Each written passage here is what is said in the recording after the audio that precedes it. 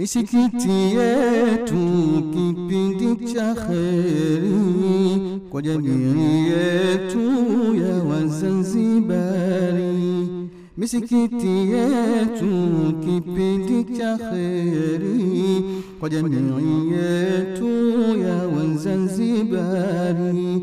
Kwa watoto wetu ni chenye athari, kwa watoto wetu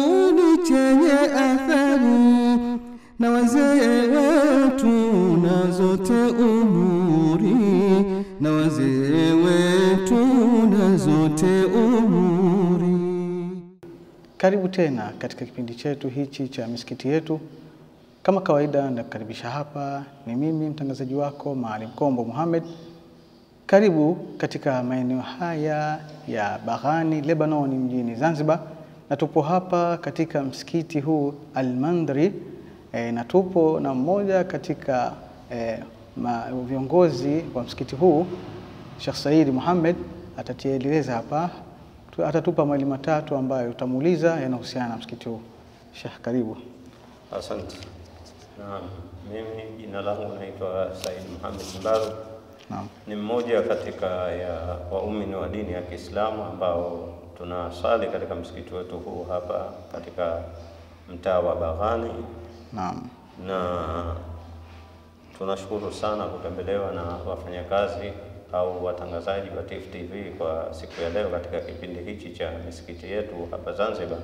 Ndio. Kwa hivyo kwa kifupi ni kwamba wamefika hapa kutaka kujua mawili matatu juu ya historia ya msikiti wetu, Ndio. japo kama sina historia kubwa, kwa sababu mimi mwenyewe katika mtaa huu si miaka mingi, ni miaka kidogo kwa wastani toka kufika. Kwa hivyo kwa kiasi ya ule ufahamu wangu nitaelezea kwa kipindi hicho nilichofika mimi katika mtaa huu mpaka hapa leo tulipofikia. Haya, asante sana, asante kwa maelezo yako mazuri na kuwakaribisha wapenzi wako, eh, wapenzi watazamaji. Kwa niaba yao basi nasema asante sana. Haya, tuendelee sasa. Huu msikiti bila shaka unaitwa Masjid al-Mindhir na, na unaeleza katika historia kwamba umejengwa mwaka eh, al-Mindhir umejengwa Ramadhani 1284 Hijria, Naam. sawa sawa na Jan- Januari 1867. Nafikiri iko sawa historia hiyo. Sasa nafikiri hii umeitwa huu msikiti jina la Al-Mindhir kutokana na huyo mjenzi au na ufahamu wewe? E, na ufahamu wangu na mimi uko hivyo kwamba aliyejenga ni mwenyewe huyu Sheikh Muhammad Suleiman Al-Mandhari, kwa hivyo ukapata jina la huyu mjengaji. Kwa kifupi ninavyofahamu, pia upande wangu ni hivyo. Haya, asante sana.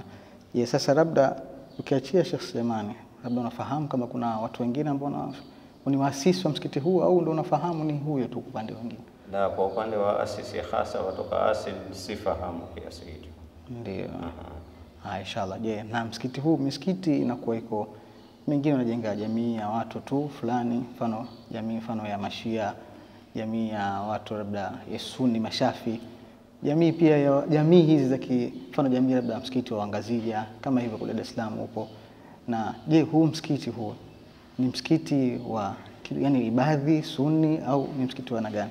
Huu ni msikiti wa madhehebu ya ibada. madhehebu ya ibadhi. Mashaallah. Haya, haya, msikiti wa madhehebu ya ibadhi. Sasa katika msikiti huu sawa, bila shaka una mtu ambaye anaosimamia msikiti huu au kuna kikundi ambacho unasimamia au ni Waislamu wenyewe tu wa mtaani wanasimamia? Nataka kufahamu hivyo. Kwa wakati huu msikiti wetu hauna manake ule uongozi au kamati ya msikiti. Ndio. Kwa sasa hivi hapa anayesimamia msikiti huu ni imamu wetu anaitwa Nasr Said Shekhan ambaye kwa wakati huu tumemkosa kidogo kutokana na pirika zake, Ndio, ndio. na yuko mzee wetu mmoja anaitwa mzee Humud. Ndio. Hawa ndio ambao wanasimamia msikiti wetu kwa wakati huu. Okay. Hakuna ile kamati ya kwamba huu ni uongozi wa msikiti rasmi. Haya, labda katika ufahamu wako ambao wewe umekaa hapa, kuna shekhe yote ambaye katika, katika mashekhe ambao wanatajika katika elimu ikiwa hapa Zanzibar, Tanzania kwa ujumla, au nje ya visiwa hivi na nchi hii ya Tanzania, ambaye alipita hapa ima kusoma au kusomesha? Unamfahamu ambaye alipita hapa? Ah, kwa kusoma hasa au kusomesha mm. historia hiyo sina, isipokuwa aliyekuwa imamu ambaye niliwahi kumwona hapa na sasa hivi yuko katika nchi ya Oman. Ni Sheikh Munir Al-Masrur ambaye yuko katika ofisi ya mufti katika nchi ya Oman. Mashaallah, Sheikh Munir Al-Masrur. Eh, maarufu sana mashaallah. Kumbe alipita hapa. Naam. Ah, mashaallah. Ni mmoja katika maimamu ambao niliwakuta hapa. Walikuwa wanasalisha salisha hapa. Mashaallah. Haya, jambo jingine umeelezea historia, alhamdulillah, nani ambaye ni dhamana msikiti huu tumefahamu. Tumefahamu kuna baadhi ya watu umesomea kama Sheikh Munir al-Masrur kapita hapa, alhamdulillah, jambo kubwa sana. Sasa tungependa kufahamu, je, katika msikiti huu labda kuna changamoto yoyote? Maanake kuna msikiti mingi utasikia ah, kuna watu wanasafisha, lakini Waislamu wanasali wanachafua na mengineyo. Labda katika msikiti huu hakuna changamoto yoyote au kuna changamoto yoyote? Ah, matatizo kama hayo huwa yanajitokeza, lakini si makubwa, ni mara moja moja sana, kwa sababu msikiti wetu wakati mwingine inatumika kwamba pana kisima hapa kinachotoatoa kinachotoa toa maji. yeah. Kwa hivyo kwa kuwa watu wanakuja wanachukua chukua maji, wakati mwingine hapa mlango unakuwa wazi, wanajitokeza baadhi ya vijana ambao sio wazuri, wanapita pita, wakati mwingine hata ile sehemu ya kutawadhia yeah. unaweza kukuta mtu anaweza kupita hata na viatu, lakini matatizo kwa kweli si makubwa. Hakuna matatizo kiasi hicho kama wizi kupita kiasi au vipi Ndio. na vitu kama hivyo. Naam, alhamdulillah, tumesikia tumefahamu kuhusu changamoto na matatizo ambayo katika msikiti ni madogo ukiangalia katika misikiti mingine kwa kawaida. Haya, swala jingine katika maswala ya mwisho tunaulizana, kuna utofauti. Wewe bila shaka ni mkubwa wetu, umeona mengi zaidi kuliko sisi. Tunazungumza katika hivi kipindi chetu hichi cha misikiti yetu, unaofahamu wewe hiyo misikiti, ukiachia msikiti huu, misikiti kwa ujumla katika hali yake ya zamani na sasa kuna utofauti gani? Labda katika ile namba ambao watu walikuwa wakiswali au vile namna watu walikuwa wakiswali au vile watu ule ushiriki wao wa ibada kutoka zamani na sasa kuna tofauti? Eh, kwa hakika naweza kusema tofauti ipo kidogo, kwa sababu zamani wazee walikuwa na wanajua umuhimu wa sala na, na walikuwa wakituhimiza sisi tuliokuwa watoto wao wakati huo, ha. na walikuwa haridhiki mpaka tukamate mikono wahakikisha wanakwenda misikitini na sisi. yeah. Lakini kwa kadiri miaka inavyokwenda, malezi yale yanakuwa yanapungua kwa kweli, hakuna hamasa ya namna ile. Sasa utakuta vijana wengi sasa hivi wamefata zile, wamebezi katika tamaduni za kimagharibi. Ndio. Ushafahamu eh? Utamkuta mtoto wa kiume kutwa nzima anatembea na suruali kipande, kasuka, kavaa herini, eh, mambo ya utumiaji wa vitu vilivyokuwa mihadarati wanasema, ndio. eh, vitu kama hivyo sasa hivi yamekuwa ni mengi kwa kweli. Kwa kiasi fulani ule uhudhuriaji katika nyumba za ibada kama hivi umekuwa ni mdogo. Ndio. Laiti kama ingelikuwa ni kama miaka tuliopita, basi misikiti kadiri inavyokuwa pamoja na wingi wake ingekuwa ni, ni midogo kusema kweli, ingekuwa waumini wanahudhuria katika kutekeleza ibada ya sala na mambo kama hayo. Sawa, asante sana. Haya, mwisho kabisa, unatoa wito gani wewe binafsi? Eh, wito gani unatoa katika hii jamii ya Waislamu iliyokuzunguka iliyotuzunguka, wewe binafsi, kwamba unatoa wito gani? Wito ni kwamba sisi Mwenyezi Mungu Subhanahu wa Ta'ala katuleta hapa duniani kwa malengo maalum, yani kwa makusudio. Na Makusudio ya kutuleta hapa sisi ni kufanya ibada, kufata amri zake, kuacha makatazo yake kama alivyotuagiza katika kitabu kitukufu cha Qur'an na hadithi za Mtume sallallahu alaihi wasallam. Kwa sababu iwapo sisi tutafata yale maamrisho tulioletewa hapa basi maisha yetu pia nayo hayatakuwa magumu kiasi kile. Lakini leo utakuta maisha yamekuwa ni magumu, kila kitu ni kigumu. Yote hii kutokana na hii kuacha yale maamrisho ya Allah subhanahu wa ta'ala na kufata taratibu na tamaduni ambazo sizo zetu. Naam. Dini ya Kiislamu ni dini nyepesi. Kama ingelikuwa tunafata kikamilifu, basi kila kitu tungepata kwa wepesi. Mvua zingekuwa zinakuja nzuri, jua linatoka kwa wakati, kwa sababu kama ilivyojua mimi umri wangu nakumbuka nilipokuwa mdogo mpaka manake tayari nishakuwa umri wa balagha. Basi hapa kwa mwaka mzima wazee wetu mila na desturi zao, kipindi cha mwaka mzima mtu alikuwa anavaa kanzo na koti. Ndiyo. lakini leo kadiri utakavyovaa nguo nyembamba bado unahisi ni dhiki kutokana na hali ya joto namna ilivyokuwa. Sasa hii mimi naweza kusema kwamba ni bakora ambazo Allah subhanahu wa ta'ala anatuchapa ndogo ndogo ili tupa, tuweze kupata mazingatio, tusimwasi yeye, tumtii yeye, tumwabudu yeye na kumtegemea kwa kila kitu.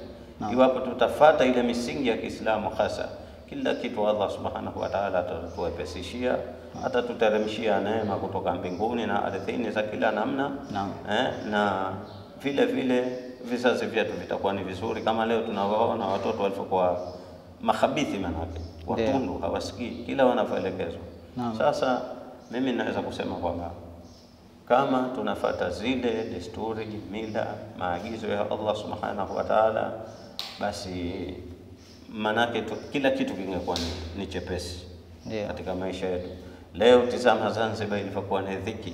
Naam. Zamani ilikuwa hapa mathalan mwandamo wa mwezi Ndio, ndio. kwa visiwa vyetu viwili hivi, kila pahala mwezi ulikuwa unaonekana Ni kweli. lakini leo kwa kwa asilimia kubwa mpaka tusikilize kwenye vyombo vya habari, yote hii inaweza kusema ni bakora kutoka kwa Mwenyezi Mungu. Anataka turudi kwake, tufate yale maamrisho yake. Naam. Lakini kama tutazingatia, tutatia akilini haya, Naam. tutafata yale maamrisho, basi Allah subhanahu wa ta'ala atatupa wepesi wa hapa duniani, kaburini na milele akhera, na hatimaye kutuingiza katika janna yake. Mwenyezi Mungu atujalie miongoni mwa Amin, Allahumma amin. Haya, nafikiri itakuwa eh, kwa hapa sina la ziada mimi kwa sasa. Sijui labda wewe una lolote la kutuambia kama sisi pia tunafanya hichi kipindi cha au na maoni gani katika hichi kipindi chetu sisi tunachofanya cha misikiti yetu, maana alhamdulillah hatupiti katika msikiti mmoja, tunapita katika misikiti mingi, lakini mmoja wapo ni huu na mengine mengine. Kwa hivyo hichi kipindi cha misikiti yetu, wewe una maoni gani na sisi? Mimi nasema kwanza ni fikra nzuri.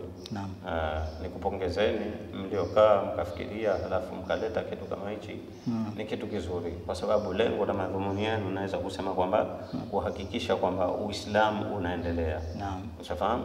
Hii vile vile ni moja ya njia ambayo ya kufanya jitihada kwamba turudie katika lengo la kuletewa hapa duniani, kwa sababu fi sabilillah ziko za njia za namna nyingi. Ushafahamu, wale wanaotoka makundi makundi, siku arobaini siku tatu, ushafahamu, kukaa ukawasomesha watoto, kuweka darsa, yani mchango wote unaotoka katika unaotoa mwanadamu katika Uislamu, basi vile vile naweza kusema ni, ni fi fi sabilillah. Kwa hivyo mimi ninachokuombeeni kheri, Mwenyezi Mungu awajalie hichi kipindi kiwe na, na kiendelee na iwe ni sababu, manake umma huweza kupata kuzinduka kwamba huku tunakoelekea siko tunakotakiwa sisi tuelekee huku. Hii inaweza kuwa sababu mtu akikiona hichi kipindi kawa fikra, ala, hivi Uislamu ndio unavyotaka.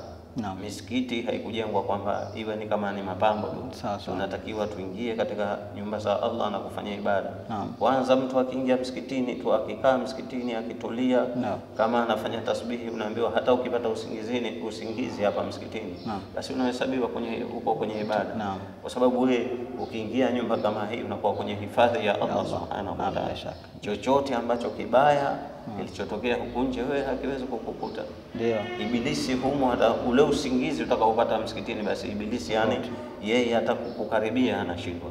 Kwa hivyo mimi nikupongezeni, ni kipindi kizuri, na inshallah Mwenyezi Mungu ajalie kila siku zikienda iwe kinaimarika zaidi, kinaboreka zaidi, mpate mbinu zaidi, na iwe ni kivutio cha wale ambao Amin. wako nje ya misingi ya dini, iwe ni sababu ya kuweza kurudi katika misingi ya dini ambayo Allah subhanahu wa ta'ala anatutaka, anatutaka sisi tuifuate. Asante sana. Leo tulikuwa na Maalim saidi hapa eh, Said Muhammad katika huu msikiti wa Almindhir Baghani hapa Shangani, Lebanoni, Zanzibar. Ndugu mtazamaji wa Tifu TV, hadi hapa tumefikia mwisho wa kipindi hiki cha misikiti yetu. Kumbuka katika kipindi hiki tulikuwa katika msikiti Almindhir ambao upo katika maeneo ya Baghani, Lebanoni, Zanzibar. Tulikuwa pia na Maalim Said Muhammad hapa akitupa mawili matatu ambayo yakihusiana na msikiti huu. Mimi mtangazaji wako Kombo Muhammad Omar. Hadi kipindi chengine kijacho, nakwambia kwa heri ya kuonana. Misikiti yetu kipindi cha kheri kwa jamii yetu ya Wazanzibari. Misikiti yetu kipindi cha kheri kwa jamii yetu ya Wazanzibari. Kwa watoto wetu ni chenye athari kwa watoto wetu ni chenye athari, kwa wazee wetu na zote umuri, kwa wazee wetu na zote umuri